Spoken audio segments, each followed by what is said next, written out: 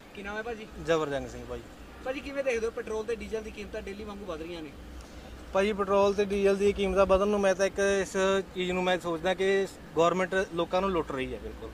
ਸ਼ਰੇਆਮ ਲੁੱਟ ਮੰਨਦੇ ਆ ਇਸ ਚੀਜ਼ ਨੂੰ ਇਹ ਲੁੱਟ ਕਿਸ ਤਰ੍ਹਾਂ ਕੀ ਲੁੱਟ, ਇਸ ਤਰ੍ਹਾਂ ਕਿ ਪਿੱਛੋਂ ਤੇਲ ਬਹੁਤ ਸਸਤਾ ਆਉਂਦਾ ਜੀ। ਪਿਛਲੇ ਤਾਂ ਮੈਂ ਤਾਂ ਇਹ ਵੀ ਗੱਲਾਂ ਸੁਣੀਆਂ ਸੀਗੀਆਂ ਕਿ ਕਿਤੋਂ ਅਰਬ ਕੰਟਰੀਆਂ ਇਹ ਕਹਿ ਰਹੀਆਂ ਸੀਗੀਆਂ ਕਿ ਤੁਸੀਂ ਸਾਡੇ ਤੋਂ ਤੇਲ ਲੈ ਕੇ ਜਾਓ। ਮਤਲਬ ਕਿ ਮਾਈਨਸ ਦੇ ਵਿੱਚ ਕੀਮਤ ਚਲੀ ਗਈ ਸੀ। ਉਹ ਤੇਲ ਦੇਣ ਦੇ ਨਾਲ ਨਾਲ ਤੁਹਾਨੂੰ ਤੇਲ ਲੈ ਕੇ ਜਾਣ ਦਾ ਤੇ ਰੱਖ ਰਖਾਵ ਦਾ ਖਰਚਾ ਵੀ ਦੇ ਰਹੇ ਸੀਗੇ ਜੀ। ਪਰ ਸਾਡੀ ਗਵਰਨਮੈਂਟ ਨੇ ਕੀ ਕਰਿਆ ਉਸ ਉਹ ਕਰੋਨਾ ਕਾਲ ਦੀ ਗੱਲ ਹੈ ਜੀ ਲੋਕਡਾਊਨ ਪਿਛਲੇ ਲੋਕਡਾਊਨ ਵੇਲੇ। ਸਾਡੀ ਗਵਰਨਮੈਂਟ ਨੇ ਉਸ ਵੇਲੇ ਵੀ ਉਸ ਚੀਜ਼ ਨੂੰ ਵਧਾ ਕੇ ਮਤਲਬ ਕਿ ਲੋਕਾਂ ਦੁਨੀਆ ਤੇਲ ਲੈ ਕੇ ਜਾਣ ਦੀ ਟਰਾਂਸਪੋਰਟੇਸ਼ਨ ਦਾ ਵੀ ਖਰਚਾ ਦੇ ਰਹੀ ਆ ਤੇ ਸਾਡੀ ਗਵਰਨਮੈਂਟ ਨੇ ਉਸ ਟਾਈਮ ਵੀ ਤੇਲ ਦਾ ਰੇਟ ਵਧਾਇਆ ਜੀ।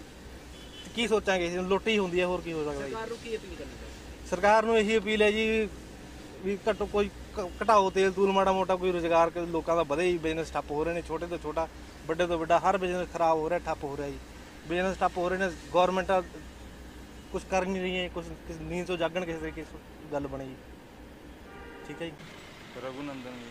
ਰਘੁਨੰਦਨ ਜੀ ਕਿਵੇਂ ਦੇਖਦੇ ਹੋ ਪੈਟਰੋਲ ਦੀ ਜਿਹੜੀ ਤੇ ਡੀਜ਼ਲ ਦੀ ਕੀਮਤਾਂ ਡ- ਰੋਜ਼ਾਨਾ ਕਿੰਨੇ ਕਿੰਨੇ ਪੈਸੇ ਕਰਕੇ ਵਧ ਰਹੀਆਂ ਨੇ? ਇਹ 28 ਤੋਂ ਲੈ ਕੇ 30 ਪੈਸੇ ਤੱਕ ਵਧ ਰਹੀਆਂ ਨੇ ਜੀ ਡੇਲੀ। ਰੋਜ਼ਾਨਾ? ਹਾਂ ਜੀ। ਜੇ ਤੁਸੀਂ ਆਮ ਲੋਕਾਂ ਦੀ ਆਮ ਲੋਕ ਤੇਲ ਪਵਾਉਣ ਆਉਂਦੇ ਨੇ ਤੁਹਾਡੇ ਨਾਲ ਕਦੇ ਗੱਲਬਾਤ ਕਰਦੇ ਨੇ ਕਿ ਪੈਟਰੋਲ ਤੇ ਡੀਜ਼ਲ ਦੀ ਕੀਮਤਾਂ ਵਧ ਰਹੀ ਹੈ ਤੁਸੀਂ ਵੀ ਕੁਝ ਕਰੋ? ਹਾਂ ਜੀ ਹਾਂ ਉਹ ਲੋਕ ਕਹਿ ਰਹੇ ਨੇ ਵੀ ਬਸ ਵੀ ਸਰਕਾਰ ਨੂੰ ਕਹੋ ਜੀ ਕੁਝ ਕਹੋ ਕਰੋ ਤੁਸੀਂ ਵੀ ਤੁਸੀਂ ਵੀ ਕੋਈ ਸਟ੍ਰਾਈਕ ਕਰਿਆ ਕਰੋ। ਬਸ ਬਹੁਤ ਗੱਲਾਂ ਕਹਿ ਰਹੇ ਇਹ ਨੇ ਕਿੰਨੇ ਲੋਕ। ਟਾਈਮ ਤੋਂ ਵਧ ਰਹੀਆਂ ਨੇ ਡੇਲੀ ਇਹ ਤਾਂ ਜੀ 30 28 ਤੋਂ 30 ਪੈਸੇ ਰੋਜ਼ ਮੰਗੂ ਹੀ ਵਧ ਰਿਹਾ। 70 72 ਰੁਪਈਆਂ ਦਾ ਚੱਲਿਆ 96 ਰੁਪਏ ਹੋ ਗਿਆ ਰੇਟ। ਕਿੰਨੇ ਦਿਨ ਹੋ ਗਏ ਲਗਾਤਾਰ? ਇਹ ਤਾਂ ਜੀ ਸਾਲ 3-4 ਮਹੀਨੇ ਹੋ ਗਏ ਜੀ। ਲਗਾਤਾਰ ਵਧ ਲ- ਲਗਾਤਾਰ ਇਹ ਚੱਲ ਰਿਹਾ ਕੰਮ ਇਹ। ਕਿਉਂਕਿ ਇੱਕ ਪਾਸੇ ਜੇ ਕਰੋਨਾ ਵਾਇਰਸ ਦੇ ਕੇਸਾਂ ਦੀ ਗੱਲ ਕਰੀਏ ਉਹਦੇ ਕਰਕੇ ਕਾਰੋਬਾਰ ਠੱਪ ਪਏ ਨੇ ਇੱਕ ਪਾਸੇ ਪੈਟਰੋਲ ਤੇ ਡੀਜ਼ਲ ਦੀ ਕੀਮਤਾਂ ਵਧ ਰਹੀਆਂ ਨੇ। ਇਹਦਾ ਡੇਲੀ ਵਧ ਰਹੇ ਨੇ ਜੀ ਰੇਟ ਕੋਈ ਰੁਕ ਨਹੀਂ ਰਹੇ ਹੈਗੇ ਵਧਣੋਂ।